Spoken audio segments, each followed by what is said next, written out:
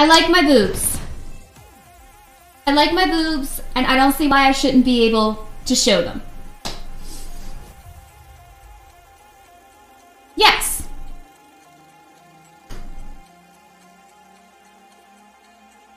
So that's all. It's it's as simple as that. And I don't see why I can't have them out and still be me. So that's all.